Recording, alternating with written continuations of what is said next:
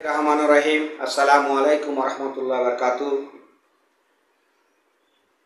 অষ্টম শ্রেণির শিক্ষার্থী বৃন্দ তোমরা আশা করি যে যেখানে আছো ভালো আছো।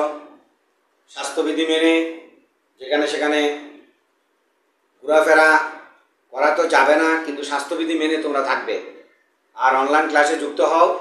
আজকে আমি অষ্টম শ্রেণির অ্যাসাইনমেন্ট পাস নিয়ে আলোচনা করব। অ্যাসাইনমেন্ট পাসের মধ্যে দেখা যাচ্ছে ব্যাকরণের অংশ সাধু চলিত ভাষার পার্থক্য। এর আগে আমি চার নম্বর অ্যাসাইনমেন্ট নিয়ে আলোচনা করেছিলাম। প্রিয় শিক্ষার্থীরা, তোমরা সবাই আমাদের অনলাইন ক্লাসে যুক্ত হও। তোমাদের বাংলা ব্যাকরণ বই নিয়ে খাতা কলম নিয়ে উপস্থিত হও এবং এই পাঁচ নম্বর অ্যাসাইনমেন্ট তোমরা যথাসময়ে তৈরি করে আগামী বুধবারের মধ্যে আমাদেরকে জমা দিবে। প্রিয় শিক্ষার্থীরা, তোমরা জানো, পাঁচ নম্বর অ্যাসাইনমেন্টের মধ্যে লিখেছে সাধু চলিত ভাষা পার্থক্যকরণ। এখানে একটি গদ্যের অংশ তুলে দিয়েছে। এই গদ্য অংশের মধ্যে তোমরা সাধু চলিত ভাষা ফুটিয়ে তুলবে। সাধু চলিত ভাষার পার্থক্য কি মানে কীভাবে হয়, এটাকে পরিবর্তন করতে হবে। সাধু থেকে চলিততে কি করবে? রূপান্তরিত করবে। দেখো, আমি এটা পড়ে শোনাচ্ছি, তারপরে বুঝতে পারবে এখানে। তোমরা তো জানা, পূর্বে ক্লাসে আমি সাধু চলিত ভাষার মধ্যে বলেছিলাম, সাধু ভাষা কীভাবে চিনবে এবং চলিত ভাষা কীভাবে চিনবে। আমি আবারও বলছি, সাধু ভাষা চেনার সহজ উপায়গুলি হলো তোমার ক্রিয়াপদগুলি দীর্ঘ হবে এবং সর্বনামগুলি দীর্ঘ হয়। সর্বনামগুলি দীর্ঘ হয়। এবং ক্রিয়াপদ দীর্ঘ হয়। আর চলিত ভাষা ক্রিয়াপদ সংক্ষিপ্ত হয় এবং সর্বনামও কি হয়? সংক্ষিপ্ত হয়। তোমরা জানো সর্বনাম কাকে বলে? নাউনের পরিবর্তে, অর্থাৎ বিশেষের পরিবর্তে যে পদ ব্যবহৃত হয়, যে শব্দ ব্যবহার হয়, সেটা হলো সর্বনাম। আর ক্রিয়াপদ তোমরা জানো, ক্রিয়াপদগুলি হলো কাজ। যে শব্দগুলো দিয়ে কোনো কাজ করা বোঝায়, সেটা হলো কি? ক্রিয়াপদ। তাহলে তোমরা ব্যাকরণ অংশের মধ্যে দেখো সেই অংশটা। তোমরা সবাই খোলো। তোমাদের ব্যাকরণ বই নাও। ব্যাকরণের মধ্যে সাধু চলিত ভাষা পার্থক্যের মধ্যে যাও। এবং এই গদ্যাংশটা পড়লে তোমরা বুঝতে পারবে, এখানে ক্রিয়াপদগুলি চিহ্নিত করবে, তারপর সর্বনামগুলি চিহ্নিত করবে। তারপর আমি তোমাদেরকে মোটামুটিভাবে কিছুটা সহযোগিতা করব। তাহলে দেখো, আবার বলিতেছি, আর বাবের ঘরে চুরি করিও না। আগে ভালো করিয়া চোখ মেলিয়া দেখ, কার্যের সম্ভাবনা, অসম্ভাবনার কথা অগ্রে বিবেচনা করিয়া, পরে কার্যে নামিলে তোমার উৎসাহ অনর্থক নষ্ট হইবে না। মনে রাখিও, তোমার স্প্রিট বা আত্মার শক্তিকে অন্যের প্ররোচনা নষ্ট করিতে তোমার কোনো অধিকার নাই, তাহা পাপ, মহাপাপ। প্রিয় শিক্ষার্থীরা, আমি আশা করি হয়তো তোমরা এটা অনেক আগে তৈরি করে ফেলেছো, তারপরে আমরা অনলাইন ক্লাসে সেটাকে দেওয়ার আমাদের দায়িত্ব এবং কর্তব্য, সেজন্য আমি এই উদ্যোগটা নিয়েছি। তাহলে আবার বলিতেছি এখানে দেখো আবার বলিতেছি, এই বলিতেছি শব্দটি হলো ক্রিয়াপদ। হ্যাঁ এটা হলো দীর্ঘ হয়েছে। তাহলে এটাকে তুমি সংক্ষিপ্ত রূপ চলিত লিখলে হবে কি হবে? আবার বলছি আবার বলছি, আর বাবের ঘরে চুরি করিও না, চুরি করো না, চুরি করো না। করিও নাকে কি বলবা? করো না।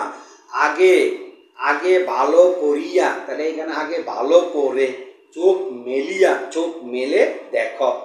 কার্যের সম্ভাবনা, তুমি কার্যের সেটাকে কাজের। কাজের সম্ভাবনা, অসম্ভাবনার কথা অগ্রে। এটা বিশেষ করে সাধুতে ব্যবহৃত হয়, তাহলে আমরা চলিততে লিখতে পারি আগে। অগ্রে মানে কি? আগে। বিবেচনা করিয়াকে করে, পরে কাজে নামিলে, নামলে তোমার উৎসাহ অনর্থক নষ্ট হবে না। মনে রাখিও, মনে রেখো। কি হবে? মনে রেখো। তোমার স্প্রিট বা আত্মার শক্তিকে অন্যের প্ররোচনায় নষ্ট করিতে, নষ্ট করতে তোমার কোন ন উ ন হবে। কগর পদন্ত পুনঃ, কগর পদন্ত ন পান্ন না। সেটা হলো সাধুর বেলা। তাহলে কোনো অধিকার নাই, অধিকার নেই। নাকি কি বলবা? অধিকারের কোনো অধিকার নেই। তাহা, তা, পাপ, মহাপাপ। শিক্ষার্থীরা, বুঝতে পেরেছ? তাহলে এইভাবে যখন কোনো সাধুর গদ্যাংশ আসবে, সেটাকে চলিত গদ্যাংশে রূপান্তরিত করতে হবে। আর বিশেষ করে সাধু চলিত ভাষার পার্থক্যগুলো তোমরা জানতে হলে কিন্তু তোমাদেরকে ব্যাকরণ বইয়ের উপরে এবং সেখানে সাধু চরিত্রের যে পাঠটা আছে, ওইটা তোমাকে জানতে হবে। সাধু চলিত ভাষার পার্থক্য, যেমন সাধু ভাষা গুরু গম্ভীর, চলিত ভাষা হলো কি, সেটা হালকা হ্যাঁ?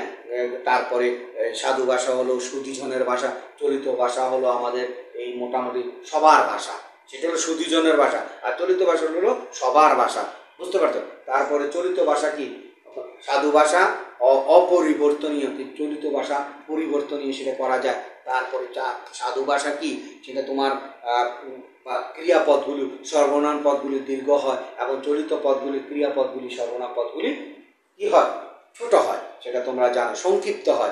তাহলে তোমরা যদি এই সাধু চলিত ভাষার পার্থক্য নির্ণয় করতে জানো, তবেই তোমাদের আজকের এই যে পাঠটা রয়েছে, তোমাদের অ্যাসাইনমেন্ট পাস অ্যাসাইনমেন্টটা করতে তোমাদের জন্য সুবিধা হবে। প্রিয় শিক্ষার্থীরা, তোমরা এই বাংলা প্রথম পত্রের সাথে সাথে পাশাপাশি তোমরা বাংলা ব্যাকরণ বই তোমরা কিন্তু পাঠদান করবে। তোমাদেরকে যে সরকারি যে বইটি দিয়েছে, সেটা তোমরা বাড়িতে পড়বে। তাছাড়া তোমাদের কাছে যেটা সহায়ক গ্রন্থ আছে, ওইটাও তোমরা পড়বে।